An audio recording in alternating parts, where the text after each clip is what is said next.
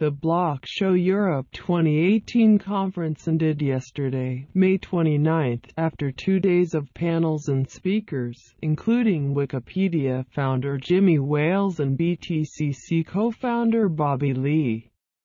Speaking about the conference, Bobby Lee told Cointelegraph, I think conferences are important to get the word out there, to educate people and help them learn about cryptocurrency and blockchain.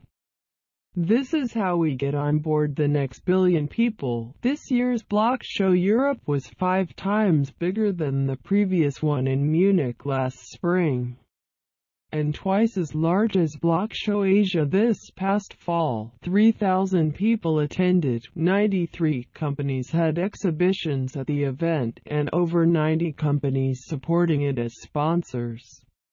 Leading up to the event, Block Show Europe held meetups in Paris, Rome, and Zurich where voting took place for the best startup for the Block Show Oscar competition.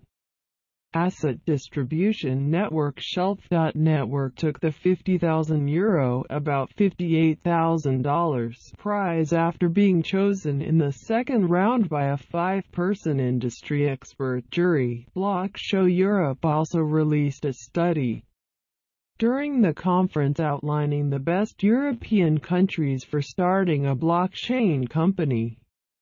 The study examined initial coin offering ICO regulations, regulations on crypto as a payment service, and taxation frameworks for crypto.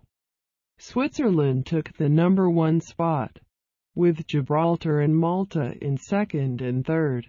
The conference included the results of its blockchain industry leaders poll, where users of the Block Show app globally could vote on the top woman and top EU business in blockchain.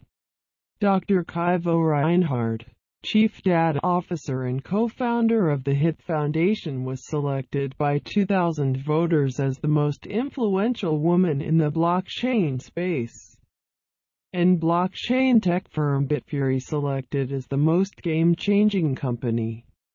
Benny Giang, co-founder of CryptoKitties, said that he was thoroughly surprised by the diversity of attendees at Block Show, stating, This was my first time in Europe and being exposed to so many great projects in this region was eye-opening.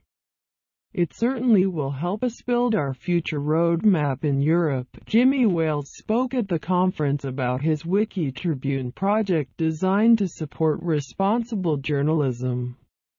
Also touching on the subject of crypto by referring to Bitcoin, BTC, as definitely a bubble. Block Show's next stop is the US with a conference coming to Las Vegas this August. Thank you for listening to my channel. Please subscribe for get hot news in the world.